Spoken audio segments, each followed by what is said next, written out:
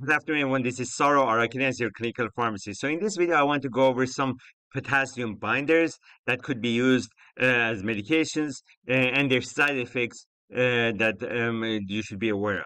So some of the common uh, potassium binders include calcium polystyrene sulfonate, uh, patiromer or Veltassa.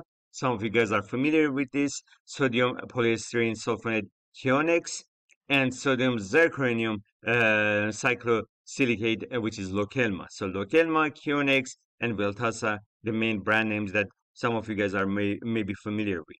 With these potassium binders, obviously, just like any medications, they have their own side effects. They include abdominal pain, bloating, constipation, diarrhea, gas or gas pain, heartburn, uh, indigestion, uh, or dyspepsia, and nausea and vomiting.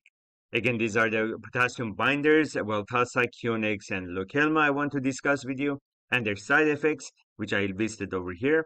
For more detailed information or questions on these um, potassium binders or their side effects, uh, make sure to comment on the video with your questions, and I'll be happy to answer any of your questions on these medications.